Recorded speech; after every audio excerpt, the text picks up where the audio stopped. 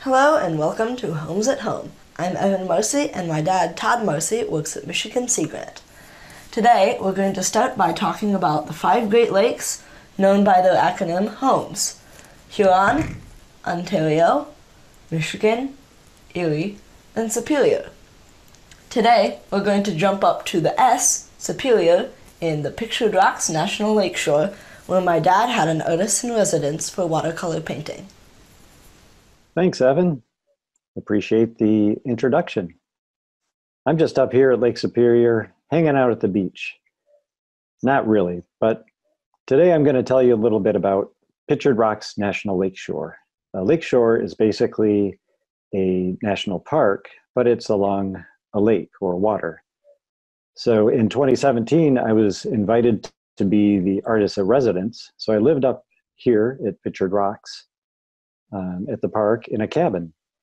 I'm going to tell you a little bit about what was involved in that, show you some photos that inspired me from my hiking over through the area.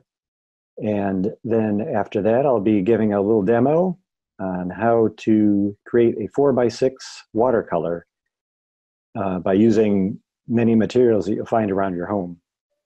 So first I'll tell you a little bit about the park. Pictured Rocks National Lakeshore stretches 42 miles along the shore from Munising to Grand Marais, Michigan. Some of its greatest features are multicolored sandstone cliffs that rise above its brilliant blue-green waters and world-class sand dunes. Like this. This is Grand Sable Dunes. If you like sandboxes, you'll want to come straight here. The lakeshore is also home to deep wood hiking trails and trails that hug Lake Superior. It has many campgrounds, beaches, and waterfalls. These all inspired my artwork, which you'll see here.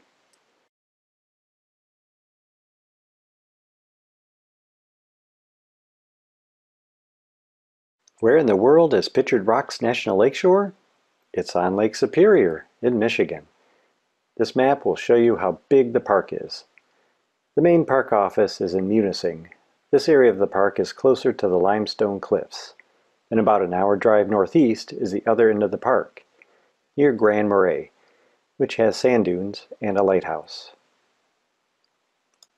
Next is the log cabin I lived in for three weeks. Sullivan Cabin is far away from the towns. The only neighbors are wildlife. The cabin is across the street from Lake Superior.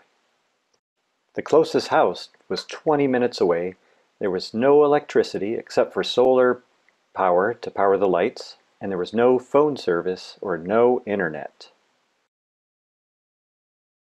Now you know where Pictured Rocks is at Lake Superior, I'm going to talk a little bit about my art and how I create textures and shapes. So um, here's an example of what we'll be doing today. But on Texture and color are some of the elements in my art that make it interesting. I study nature and then try to mimic or copy what I see. I've experimented with different materials that help me create natural looking shapes on my art. Here are some ideas on how to get these common materials from around your house. Happy birthday, Lion! Here's your gift.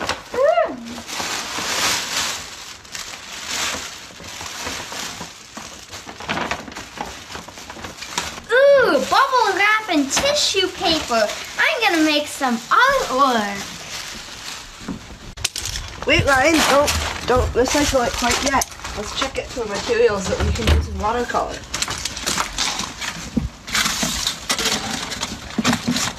Oh, this would make a neat pattern. And here, this too.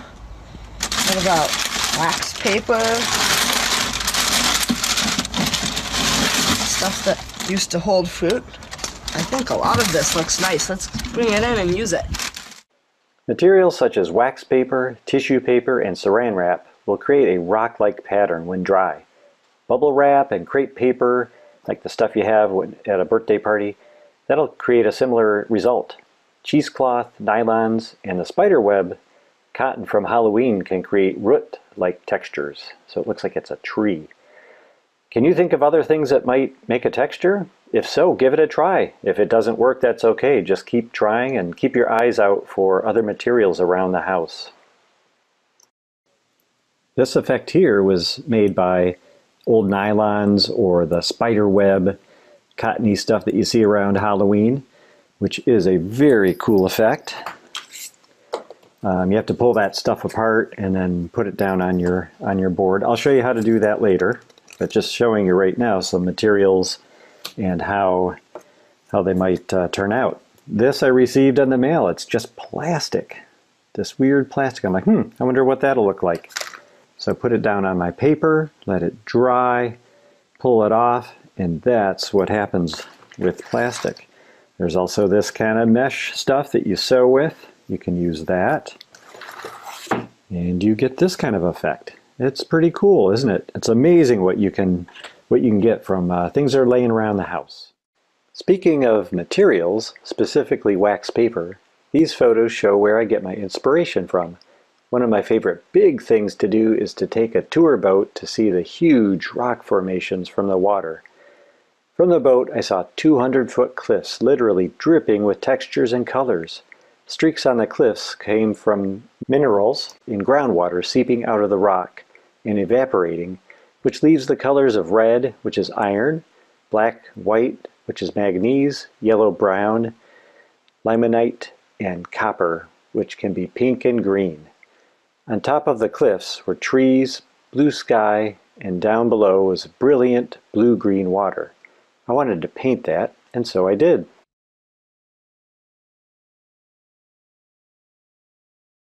In contrast to the big things on Lake Superior, small things deserve just as much attention. When I'm hiking or walking along the beach, I like to look at the ground for little things like stones, textures of the rock or sand, mushrooms, and mosses. Does anyone like beaches? Me too. Lake Superior has both rocky beaches and sandy beaches. The best thing about being an artist at the park was having the time to study how nature works. I literally watched water come out of the rocks, then followed the path to the lake, while noting the shapes and colors. I wondered how these geologic formations were sculpted. All that thinking inspired me to get back to the log cabin, my new art studio, and paint. Oh, before I get back to the studio, I have to mention how amazing rock hunting is. I collected colorful rocks from the cold water to study. I took some pictures and put them back on the beach when I was done. That was hard to do, but I wanted to make sure that other visitors got to see them too. What does an artist in residence do? Well, they create art that is inspired by what they see or feel around the park. The artist in residence is considered a National Park volunteer and are asked to give a public presentation about the experience of living and creating art at the park. We also talk to park visitors about our art and its relationship with nature. At the end of the project, the artist donates a piece of art to the National Park Art Collection. It's an honor to know that the U.S. government owns one of my paintings. So basically, while I was an artist at the park, I took this experience and turned it into this painting. Some artists like to create art on location, which is called plein air. Not me. Since my technique requires long drying time, I prefer to experience my surroundings, take pictures, then go back to the art studio and paint, usually at night, like this picture. I think the local forest bear took this photo. And now for a quick art demonstration. With the techniques I use, you will have to allow drying time of up to an hour, so feel free to take notes or replay this video again. The Homes at Home challenge for today is to create some art or watercolor, take a picture, tag Michigan Sea Grant, and that's at M-I-S-E-A-G-R-A-N-T, or email us. Here are the essential supplies you will need board, cardboard, foam board, something flat and sturdy that can handle a bit of water. The thicker the better. You might have to tape a few layers of cardboard together so it won't bend when wet. You also need some painter's tape, which is the best because it peels off nicely without uh, ripping the paper, but masking tape will also do. You'll need a cup for water, brushes, an old towel, watercolor paper. I prefer 140 pound cold press, as 90 pound buckles easily. And you'll also need watercolor paint, at least the primary colors, red, blue, and yellow. If you have a dried paint set, remember to add water to the paint about 5 minutes before starting a project to soften the paint. The first step is to tape down your watercolor paper. I'm using pre-cut 4x6 postcard size papers, but you can use any size paper that you could find. Uh, paper that is in the block form is economical and you can tear off the sheets when you need them. I prefer to tape the paper on gator board, foam board. Uh, foam board will do, but it might buckle when wet. If you do use foam board, uh, tape several of those uh, foam boards together to give it more strength. Plywood boards are even better if you have them laying around. But uh, first off, get your paper and tape all the way around it so it's down secure. Now that the paper is secure, I'm going to lightly wet the paper with my brush, which will let my paint spread easier. This is called wet on wet. If the paper were dry and you added your color, the color would only stay where you put down your brush. It wouldn't spread. Think about the textured material you have collected and decided to use. I'm going to use wax paper, but again, you could substitute bubble wrap or the material of your choice. I like to tear it into a rectangle-like shape with some jagged edges at the bottom. This represents a cliff, a rock formation, or land. Here is a finished example of the wax paper technique. In order to get interesting rock-like shapes, you will have to create air pockets in your waxed paper. Put a few creases in the paper and maybe crumple up some small sections and leave other sections flat. This will give it some interest once we peel this off after it dries. Red orange is put down on the paper. This represents the iron that is inside the rocky cliff. I often dab a little bit of a darker paint in with my first color. Now it's time to put the wax paper on the paint. I press down here and there so there's a bit of a suction with the paint and the paper.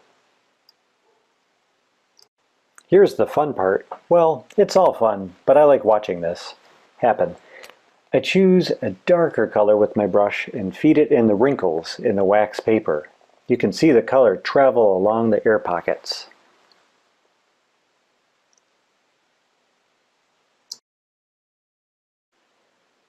I will now add some blue for sky and then green on the opposite side.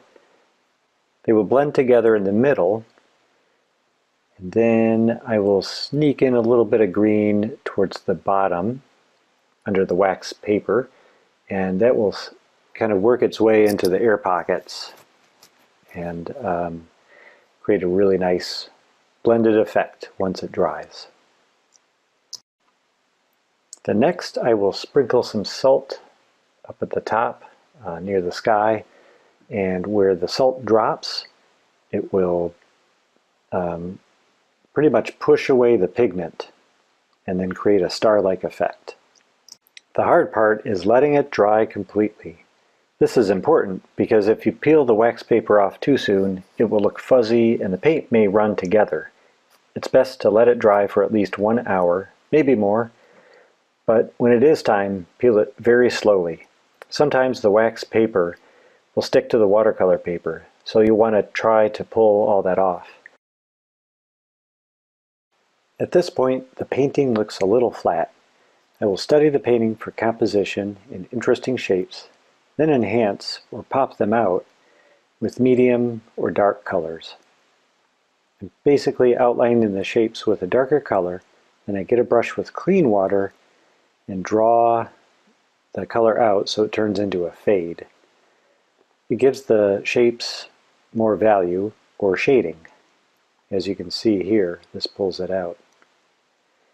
If it gets into um, a color that you don't want to, you can always dab it with a towel, and that basically acts as an eraser.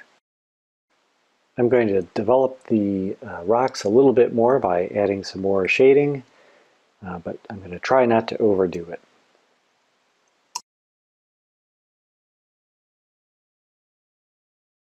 I've done all the rocky bits for now, and I will add some design elements by tracing a coin.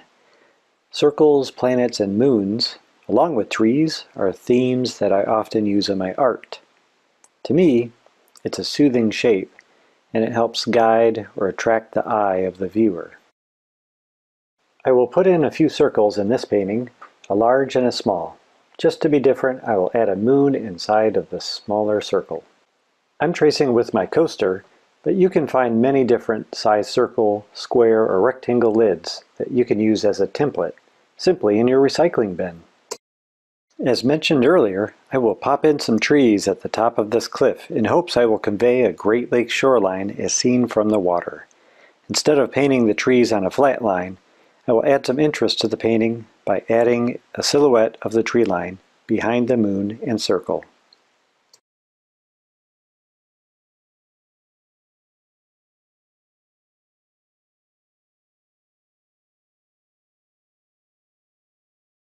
Instead of painting a crescent moon, I will invert or reverse the moon shape.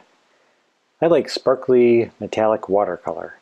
If you don't have that in your set, another option is to water down acrylic or craft metallic paint.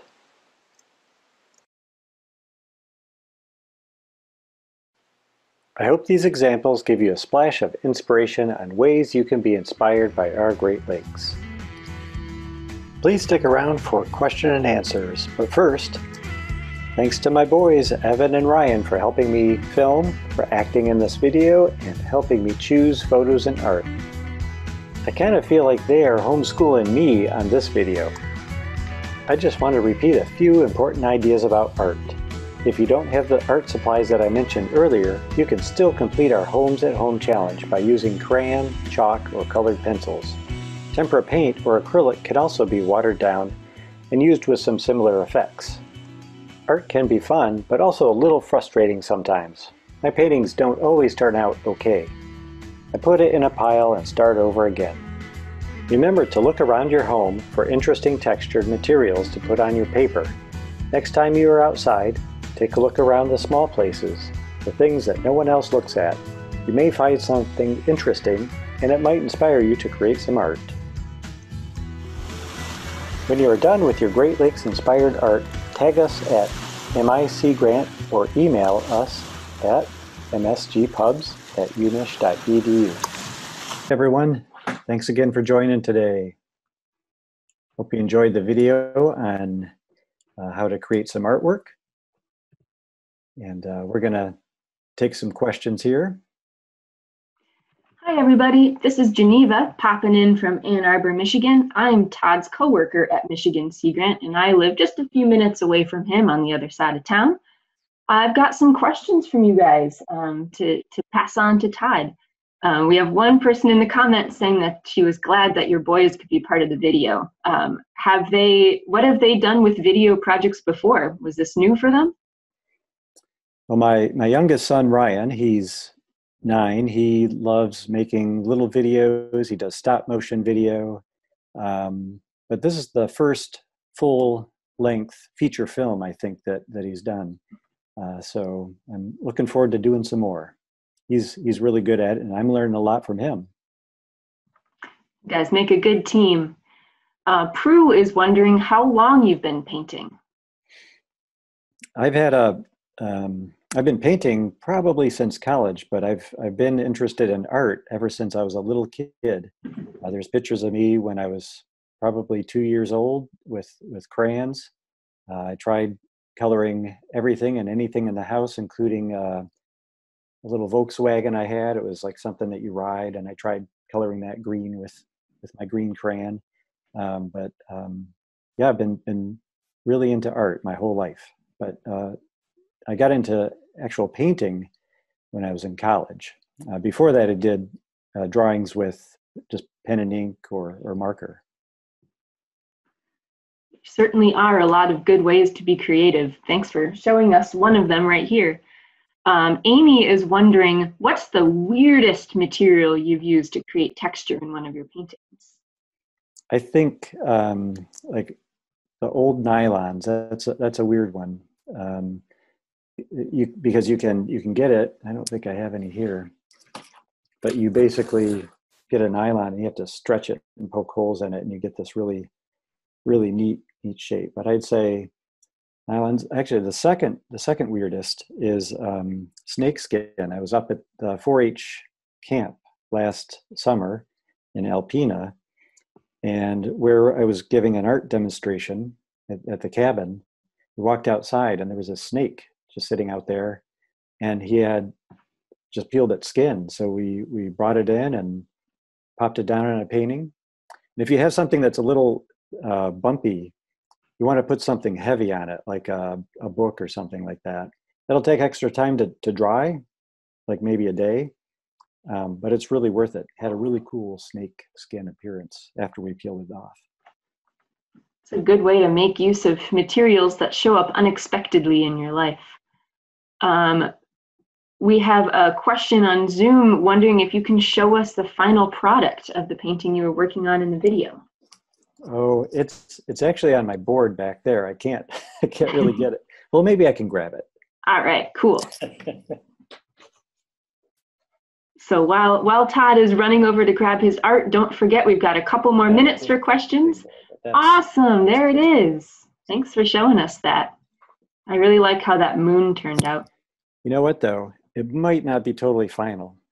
Um, I'm pretty good at letting something sit and then you know sometimes it speaks to me and i can add a little bit more um, so I, I, think that might happen with this painting well people might just have to watch the michigan sea grant facebook page for for evidence of the final product whenever it emerges um, we've got more questions to ask um, adam is wondering what's your favorite color my favorite color is green um, but it you know, I think sometimes it depends on the day.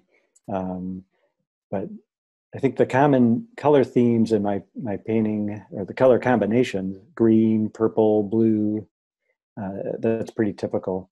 Um, but sometimes you have to you have to try other colors. Um, a good story from uh, when I was in graduate school, my um, my instructor came in one day and said, "You know what, Todd? I think um, here, here's a here's a plan for you. I want you to do a painting without using your favorite colors. Use your lonely colors. And she picked up a a, um, a yellow and a red and an orange, and I had never opened those tubes up. And she said, "I want you to do some paintings with those."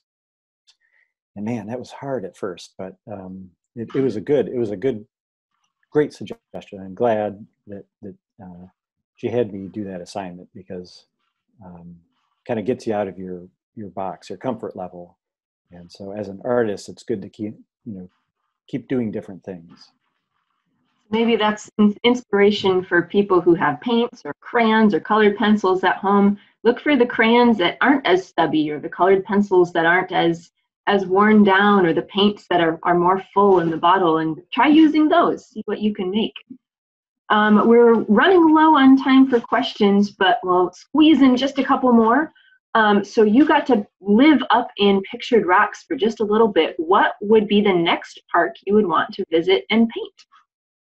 Oh boy, I would love to go back there again. Um, but I think the next one I'd like to do is Sleeping Bear. Uh, Sleeping Bear Dunes National Lake Shore also has an artist in residence. And um, someday I hope to do that one. I'm, I don't mean to stick in the state of Michigan, but it's just so awesome. There's so many great things in our Great Lakes state. But um, that's definitely on my list of places to go next. Very cool. So I'm going. To, I know we're a little bit over time, but I want to squeeze in one more question from Stuart. Uh, besides the artist in residence, what kinds of other people live at national parks? Well, there are the park rangers who who live up there, and they have um, at Pictured Rocks, for example, they have probably, uh, I think, five different homes and apartment apartments spread throughout the park. So um, I'd say that's the, the park rangers are are the other other folks. But you also have uh, campers who live there temporarily. Uh, Pictured Rocks has, I think, three or four main campgrounds, um, and most of them don't have electricity, so you have to when you're camping out there, it's it's real camping. That sounds like the best kind of adventure, and hopefully one that we can still do this summer. Um, so we are over time right now. Todd, if people want to find out more about you and your art, where can they go to find that information? Yeah, you can go to um, Marsee Gallery. That's M as a Mary, A R S E E, and gallery.com. And if you want to read more about the um, the artist residence, just put a slash blog at the end, and that'll take you right to um, some information on what other things I did up there, and also has a, a feature on our freshwater feasts, which talks about Great Lakes whitefish and some recipes. Awesome. So I put the link to that up in the, the comments in the Zoom chat window if anyone wants to go check that out. Well, thank you so much, Todd. This was really awesome. And I hope people are inspired to go create some awesome Great Lakes art. And as Todd said, feel free to email us at msgpubs at umich.edu or tag us on social media if you upload it. We'd love to see what you're creating. And don't forget to tune in on Thursday at 10:30. We're going to have a guest on who can talk about exciting ways to help science right in your backyard through an activity called a bio blitz. So join us at 10:30 on Zoom or Facebook Live to learn more about that. Thanks everyone. Have a good morning. Thank you. Bye.